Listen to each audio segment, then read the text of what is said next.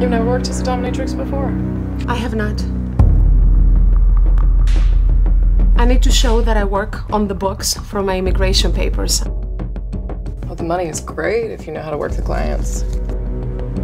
What's a lot of money? Six figures or thereabouts?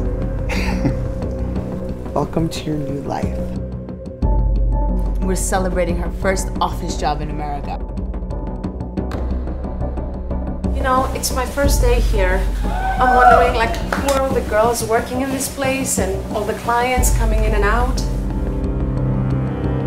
What happened in this room a few minutes ago was a little weird. We all have our fantasies. Be in the black room in five minutes. The client's name is Frankie. Bella, it's not busy. Why are you gonna send the new girl in? Is that what you're wearing to work? It's not that kind of office work.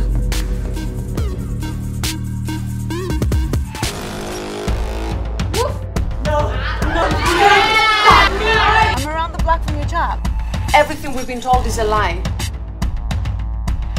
I have a pouch. A pouch. Will you do something for me? For you. Is that enough for you?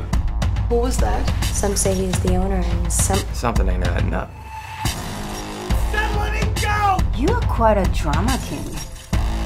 Some fun with Achilles. There was a letter. Immigration? Yeah, I work for the INS, uh, immigration.